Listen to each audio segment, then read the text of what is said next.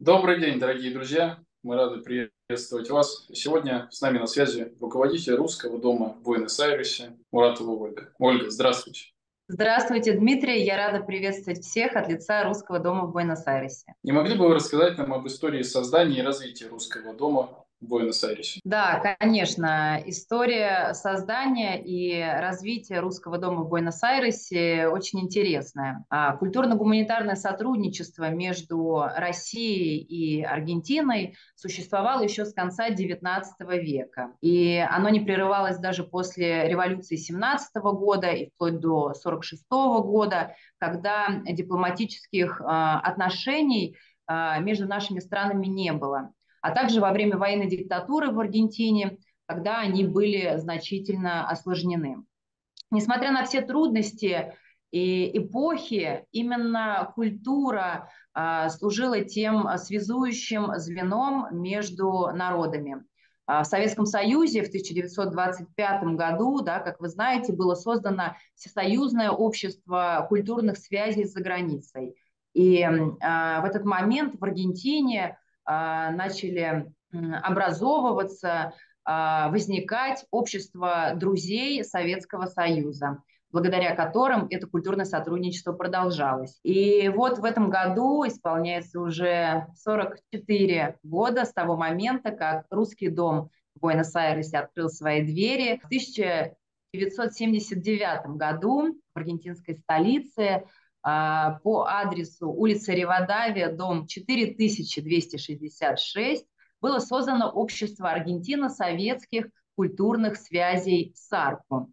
И буквально с первых дней своего существования а, эта организация превратилась в настоящий центр а, притяжения для тех, кто всем сердцем любит Россию, ценит ее достижения в области науки, культуры, образования. Впоследствии в этом доме а, работало представительство Росзарубеж-центра, а с 2009 года здесь функционирует представительство нашего федерального агентства Россотрудничества, лице Российского центра науки и культуры в Буэнос-Айресе, или как здесь аргентинцы и наши соотечественники называют нас «Русский дом» в Буэнос-Айресе. И с тех пор при нашем непосредственном участии и Россия, и Аргентина с позитивной динамикой развивают свои культурно-гуманитарные связи, и мы работаем, предоставляя возможность всем аргентинцам ближе познакомиться с нашей страной. То есть в следующем году уже юбилей, 45 лет, правильно? Да, в следующем году будем отмечать юбилей. А как вы стали частью Русского дома? Я стала частью Русского дома достаточно давно, э, Русского дома и Россотрудничества – еще будучи а, студенткой факультета истории международных отношений, я была активным участником различных международных образовательных и межкультурных программ, проектов, инициатив. И получив высшее профильное образование, и на тот момент а, продолжая свое обучение в дипломатической академии а, при Министерстве иностранных дел, я поступила на работу в наше агентство. И в этом году исполняется ровно 10 лет э, с тех пор, как я стала частью команды нашей замечательной организации. Получается, в университете вы прониклись Латинской Америкой и любовью к ней? А, вы знаете, да, на самом деле я давно знакома с культурой а, латиноамериканских стран и в особенности с Аргентиной. Дело в том, что я еще с самого детства профессионально занималась танцевальным искусством, вот, и одним из моих любимых танцев был танго, и поэтому сейчас у меня есть замечательная возможность э, продолжать э, восхищаться и наслаждаться одним из самых красивых танцев – это танго, и также мне очень нравятся латиноамериканские ритмы, и культура этой страны мне очень близка. А не подскажете, русская эта культура в Аргентине, насколько давно она появилась? Русская культура и Россия, она всегда была притягательна для жителей Аргентины. Будь то русский балет, русская музыка или русская литература. Дипломатические связи между Россией и Аргентиной были установлены в далеком 1885 году. В этом году, да, как мы можем посчитать, исполняется 138 лет да, нашим дипломатическим связям. И с самого начала важную роль в отношениях между нашими странами играли общественные и культурные связи. С русской культурой аргентинцы познакомились одними из первых в Латинской Америке. На рубеже 19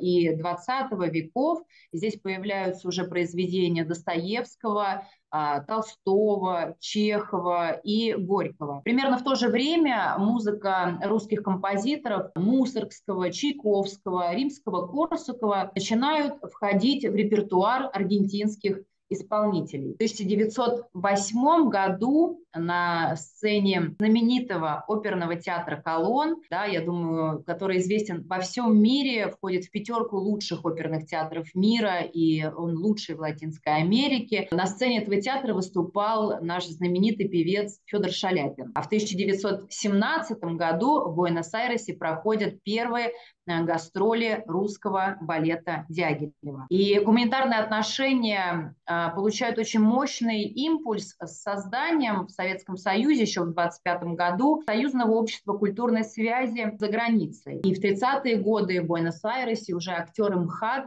знакомят э, аргентинцев с системой Станиславского. Немного позже в России становится э, популярным и очень таким востребованным новое направление танго. Общественные связи между нашими странами сохраняются и во время Второй мировой войны, когда многие аргентинцы поддержали советский, советских людей в борьбе с фашизмом. Послевоенные годы здесь начинают э, формироваться и работать общество дружбы с Советским Союзом. Также э, возникают различные культурно-спортивные клубы наших соотечественников, которые создавали иммигранты из разных республик Советского Союза. В 1958 году создается Институт культурных связей Аргентина, СССР. При его содействии проходят гастроли лучших э, советских э, музыкальных и танцевальных ансамблей здесь, в Аргентине. В кинотеатрах страны демонстрируют советские фильмы. И э, важно отметить, что в то же время и в Советском Союзе становится очень популярна и востребована аргентинская культура. Популярны становятся произведения Борхеса, Хулио Кортасера и на сценах э, советских театров да, становятся популярные постановки аргентинских драматургов. С успехом проходят гастроли аргентинских музыкантов, ансамблей. Ну, здесь стоит упомянуть, упомянуть, наверное, самых таких ярких звезд э, на тот момент аргентинской и мировой эстрады. Это Мерседес Соса и Лолита Тор. И таким образом русская культура появилась а, в Аргентине, и с тех пор а, аргентинцы очень хорошо с ней знакомы, они с удовольствием ходят на русский балет, они с огромным удовольствием читают Достоевского, они приходят на мероприятия в, в русский дом и продолжают интересоваться нашей культурой и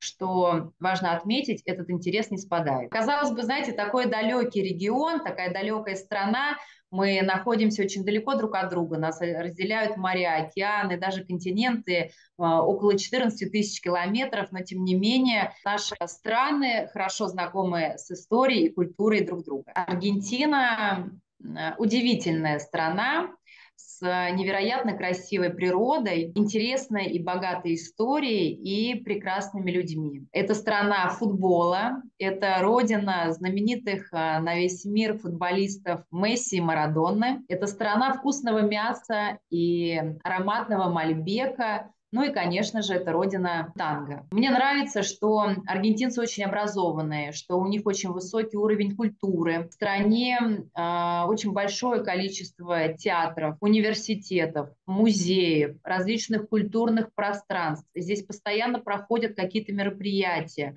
а, на любой вкус, для людей любого возраста. Очень здорово, что аргентинцы постоянно чем-то увлекаются. Ну, то есть, например, практически все мои знакомые аргентинцы имеют какое-то хобби, то, а, например, посещает курсы фотографии, то играет в театре, а, в цирке, занимается какими-то видами спорта. Вот, в этом плане они очень любопытные, в самом лучшем смысле этого слова, очень увлеченные и очень большое внимание уделяют развитию своего творческого потенциала. Также важно отметить, что аргентинцы – это очень спортивная нация. Они занимаются бегом. Здесь э, невероятно популярен футбол. Здесь даже говорят, что аргентинцы учатся играть в футбол раньше, чем они учатся ходить. Вот. Мне кажется, это уже о многом говорит. И здесь очень популярны такие виды спорта, как теннис, поло, И мне кажется, что это очень здорово. Ну, я как человек, который э, с детства профессионально занимался э, спортом, да, профессионально занимался танцевальным искусством, э, я не могу не восхищаться аргентинским танго и в целом латиноамериканскими ритмами. И помимо этого, я также хотела бы отметить, что мне очень нравятся аргентинские люди. Они очень э, открытые, дружелюбные и отзывчивые. Мне очень нравится то, что они семейные. Здесь есть замечательная традиция по выходным собираться всей семьей, а, разные поколения да, семьи собираются, и они общаются, а, вместе проводят время и делают их традиционная осада. Осада – это такое мясо на гриле и пьют свой традиционный напиток маты. Да, я сегодня даже заварила маты специально, чтобы показать вам. Вот, обычно маты заваривается в емкости для маты, которая называется колобаса. Колобаса, как правило, колобаса сделана из тыквы, вот, но также есть емкости из дерева и других материалов. Вот, например, э, моя емкость, она сделана из дерева, видите, в таком традиционном русском стиле. Это сочетание, на мой взгляд, очень удачное аргентинской и Э, русской культур. Также обязательно это трубочка, через которую пьют маты, она называется бомбища. И существуют разные вкусы маты, он на вкус немножко такой горьковатый, вот, но можно добавить туда мед или сахар, а, если кто любит вкусы послаще и помягче. Вот. Но аргентинцы также пьют а, маты без а, всяких добавок. Маты – это напиток дружбы, потому что когда вы приходите, например, в гости к аргентинцам, они обязательно заваривают маты и передают твою колбасу с маты всем своим друзьям, и все пьют напиток из одной трубочки. И это очень важно, потому что у аргентинцев это высший показатель их гостеприимства. Вот, поэтому если вас однажды гостят маты, никогда не отказывайтесь. Это значит, что аргентинцы к вам очень расположены, а, очень хотят дружить и проявить свою дружелюбие и открытость своим гостям и друзьям. А как э, аргентинская общественность относится к России? Вы знаете, в целом аргентинцы, э, вот простые аргентинцы, они позитивно относятся к России, они хорошо знакомы с нашей культурой, с нашей историей. Они с удовольствием приходят на мероприятия в Русский дом. Причем на мероприятия абсолютно разные. Это могут быть и концерты классической музыки, это могут быть различные конкурсы, это могут быть такие акции, например, как тотальный диктант, мы здесь пишем русский диктант, географический диктант, и аргентинцы с огромным удовольствием участвуют. Конечно, они отмечают, что задания зачастую для них э, сложноваты, вот, но все равно им очень любопытно, потому что каждый раз, приходя участвовать в подобных акциях, они узнают для себя что-то новое, а это, это очень важно. Вот. И несмотря на, скажем так, ту антироссийскую пропаганду, которую ведут а, прозападные СМИ, да, и в том числе Аргентина в этом плане не является исключением. Аргентинцы, они хорошо образованы, и у них есть свой критический взгляд на вещи, они анализируют информацию, они изучают русский язык для того, чтобы изучать информацию из разных источников, в том числе и русскоязычных. Вот. И мы этому очень рады, поэтому а, в целом хочу сказать, что достаточно позитивное отношение и вот за все годы, которые я живу и работаю здесь, я ни разу а, не замечала ни на себе, ни на своих знакомых какого-то негативного отношения. Знаете, здесь Россию воспринимают как такую очень интересную экзотику. Аргентинцы ценят красоту русских женщин, они ценят э, наши достижения в области культуры, в области науки, они ценят наше образование, поэтому в целом отношения очень-очень позитивные. Вы как раз затронули тему проектов э, географический диктант, тотальный диктант. Могли бы вы рассказать о своих проектах, на которые вы в данный момент реализуете? Да, конечно. Русский дом в Буэнос-Айресе реализует, реализует большое количество проектов в различных направлениях. Например, у нас пользуется большой популярностью и большим интересом проект под названием «Музыка нас объединяет». Это а, музыкальный проект, который мы реализуем уже на протяжении нескольких лет с Национальным университетом искусств аргентинским, в рамках которого аргентинские студенты раз в месяц на базе Русского дома организуют концерты. В программу этих концертов обязательно включена музыка русских композиторов. Я хочу отметить, что студенты абсолютно различных направлений с огромным удовольствием исполняют произведения русских композиторов у нас в Русском доме. На этих концертах, как правило, полные аншлаги приходят не только друзья, родственники, одногруппники, преподаватели этих студентов, но и даже у нас были случаи, когда в конце учебного года некоторые студенты выбирали русский дом как место, где они сдавали свои выпускные экзамены. Мы всячески помогали ребятам в этом. Здесь собиралась комиссия из числа их преподавателей, их педагогов, вот, и, как правило, все проходило просто на отлично. Также у нас с успехом функционирует э, на базе Русского дома киноклуб. Мы организуем этот проект совместно с Молодежным коалиционным советом российских соотечественников здесь, в Аргентине. В прошлом году нашему молодежному совету исполнилось 10 лет. Мы очень рады, что у нас здесь такие активные, инициативные, творческие ребята.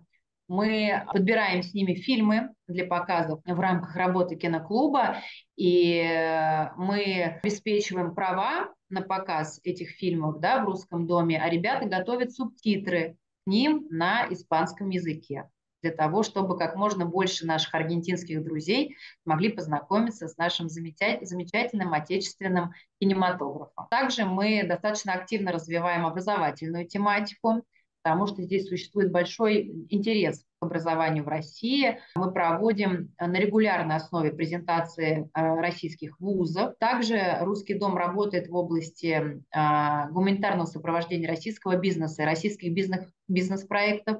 И совместно с э, нашим торговым представительством на базе Русского дома успешно функционирует деловой клуб «Атенео», в рамках которого встречаются а, российские и аргентинские компании, да, в различных, а, работающие в различных областях, для того, чтобы а, устанавливать партнерские связи, развивать их, договариваться о сотрудничестве. И этот проект очень плодотворный и успешно функционирует вот уже не один год. Одним из таких удачных форматов в рамках не только работа в Аргентине, но также наше представительство, наш русский дом курирует еще Уругвай и Парагвай. Мы проводим дни российской культуры и российского образования в различных провинциях страны. Поэтому мы уже в этом году провели дни русской культуры в Парагвае, в основу которых легли мероприятия, приуроченные к 150-летию Рахманинова да, юбилей которого мы отмечаем в этом году. И также у нас очень плодотворно прошли Дни России в провинции Тукуман. Ставили местной публике замечательный концерт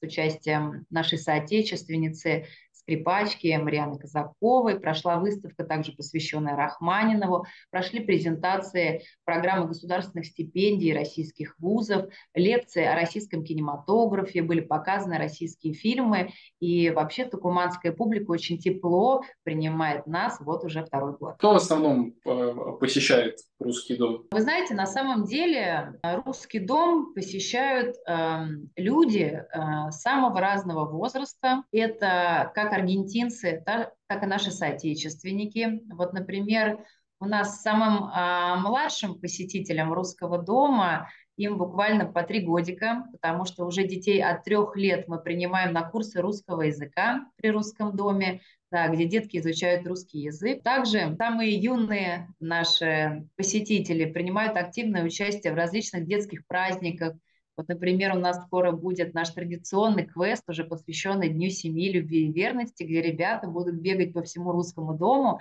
и принимать участие в игре по станциям. Русский дом посещает молодежь, как среди и аргентинцев, так и наших соотечественников. Здесь эм, регулярно проходят собрания нашего молодежного традиционного совета.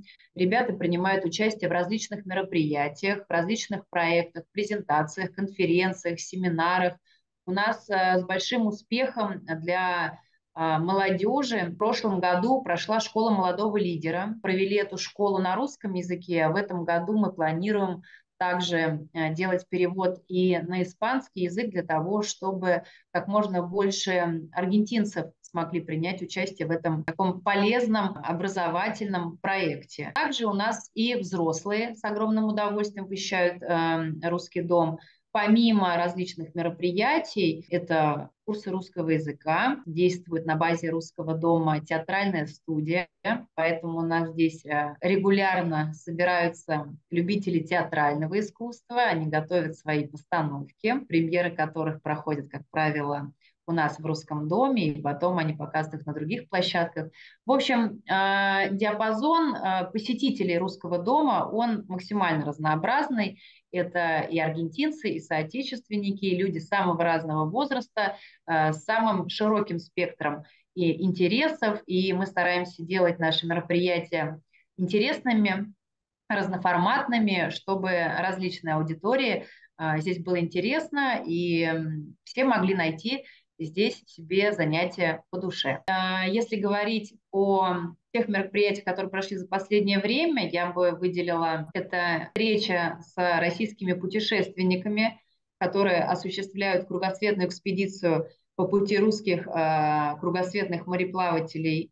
Это команда экипажа э, Тримарана Russian Ocean Way э, Станислав Березкин и Евгений Ковалевский. Э, с ними прошла очень интересная встреча, и эм, наша публика была в полном восторге от э, той экспедиции, э, которую осуществляют, в которой принимают участие наши путешественники.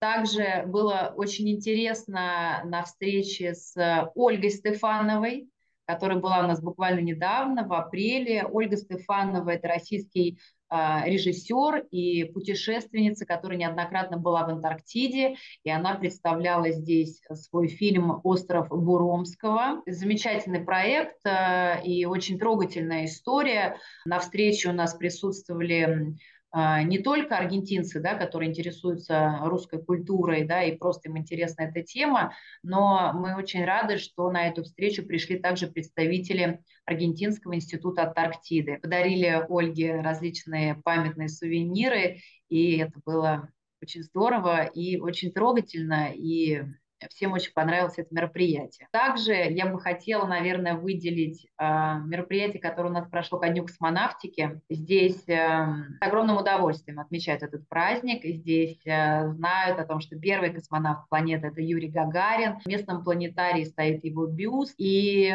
в этом году, несмотря на все сложности, да, связанные с напряженной международной обстановкой да, и со всеми этими аспектами, нам удалось организовать выставку, посвященную Юрию Гагарину и его полету в космос на внешних экранах городского планетария Галилео Галилей. То есть круглосуточно на внешних экранах планетария транслировались архивные фотографии э, с участием Юрия Гагарина, Валентины Терешковой и других наших космонавтов, рассказывающие об историях об истории отечественной космонавтики, и городские жители с огромным удовольствием а, прогуливались около планетария, да, потому что рядом с планетарием находится замечательный парк, где очень много горожан проводят свое свободное время, и они могли наслаждаться этой выставкой и э, знакомиться с нашими достижениями в области освоения космоса. И также я бы хотела отметить э,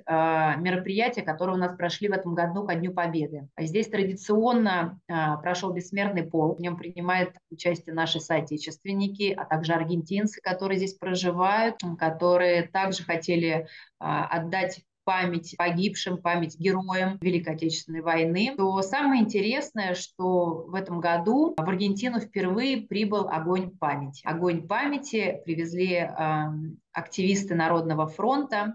Мы передали частичку этого огня с Красной площади, да, с могилы неизвестного солдата, э, проживающему здесь ветерану Марии Степановне Кадар.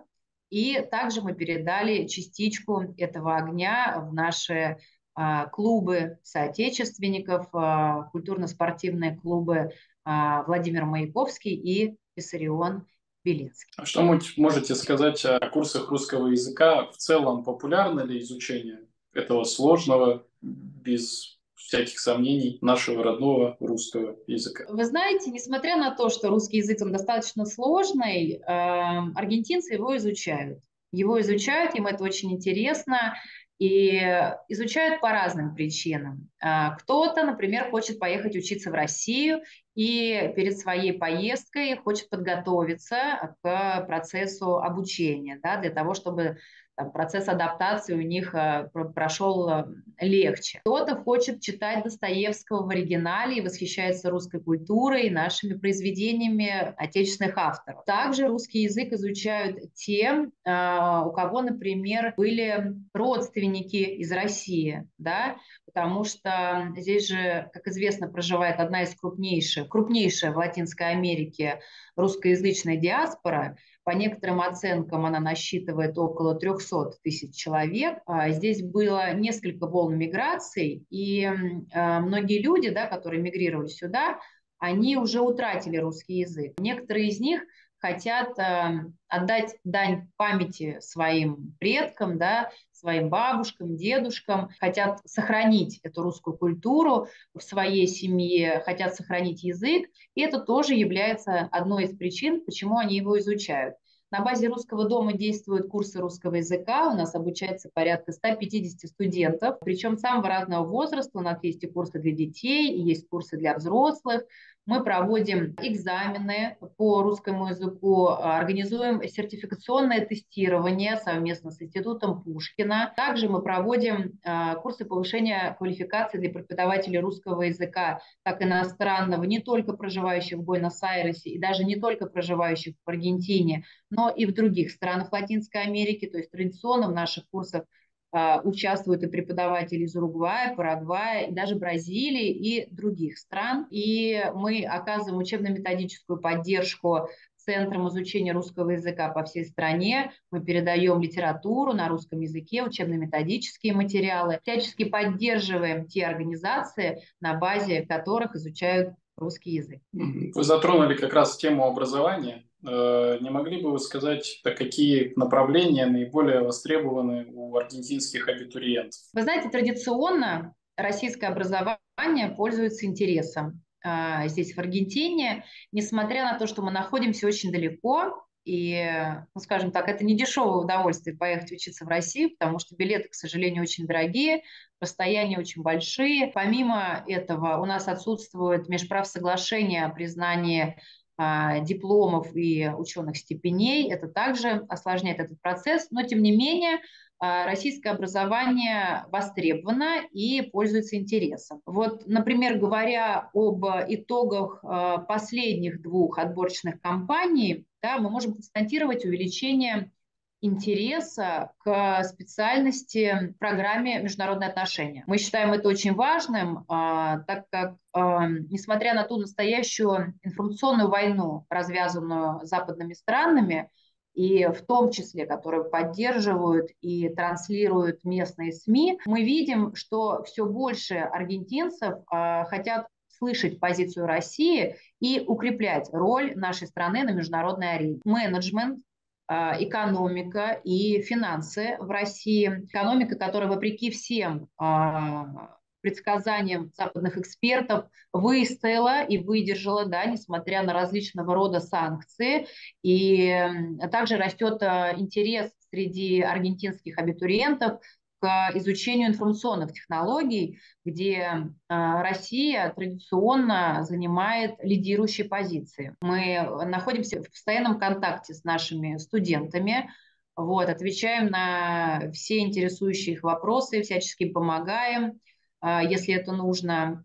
И помимо того, что они приобретают там большое количество а, друзей, в России, они приезжают обратно, да, получив образование там, и здесь они, опять же, повторюсь, несмотря на отсутствие межправсоглашения о признании дипломов и ученых степеней, они здесь становятся очень э, востребованными специалистами. Они становятся настоящими друзьями России. Они выступают в роли тех, э, таких, знаете, а, людей, которые на, налаживают мосты дружбы между народами России и Аргентины. Они наши такие послы э, своеобразные, послы дружбы, послы мира. Они всегда с теплом вспоминают о, о том времени, когда они учились э, в России. Они поддерживают отношения со своими российскими друзьями. И чему мы очень рады, выпускники российских и советских вузов являются постоянными участниками наших мероприятий. И у нас даже традиционно проходит День выпускника 10 ноября на, на базе Русского дома, где наши выпускники встречаются, делятся своими впечатлениями, делятся воспоминаниями, ностальгируют о том прекрасном времени учебы, которое они провели в нашей стране. Очень, я думаю, что они чувствуют это трепетное отношение, именно поэтому готовы и всегда только рады, собственно говоря, участвовать в будущих проектах, которые реализует Русский дом. Какие планы у Русского дома в ближайшее время? Да, у нас грандиозные планы. И несмотря на сложность обстановки, да, и на сложность тех условий, в которых мы сейчас работаем, мы все равно продолжаем э, с огромным энтузиазмом продвигать нашу русскую культуру здесь, в Аргентине. Одно из ближайших мероприятий в День памяти и скорби мы планируем а, в культурном центре а, Горини показать а, фильм «Нюрнберг» 22 июня. Также ключевым и масштабным проектом этого года у нас является 150-летие Рахманинова, и мы планируем большой концерт участием симфонического оркестра Аргентины, и также мы планируем выставку материалы, которые нам предоставил Национальный музей музыки из Москвы, посвященная творчеству жизни Рахманинова, в одном из крупнейших и самых эмблематичных культурных центров страны, это культурный центр имени Киршнера. Также мы планируем провести э, во втором полугодии Дни российской культуры в различных провинциях страны. В частности, планируем охватить провинцию Огненная земля, Миссионес, а также Дни российской культуры планируем провести в Уругвае. Вот. Ну и эм, такой один из самых эм, наших ближайших планов, да, и один из самых масштабных в преддверии начала кампании по отбору студентов, мы планируем провести здесь неделю российского образования с участием российских образовательных организаций, которые приедут специально нам сюда, чтобы э, дать лекции, представить свои университеты и привлечь как можно больше аргентинцев э, для того, чтобы у них э, возник интерес к обучению в России, чтобы ответить на их многочисленные вопросы вот, и сказать о том, как выглядит российское образование сейчас. Дорогие друзья, подписывайтесь на социальные сети Русского дома в Буэнос-Айрес. До новых встреч в эфире. Еще раз спасибо. Вам большое спасибо за эту возможность рассказать о нашем русском доме и о том, как русскую культуру любят в Аргентине. Спасибо. Спасибо.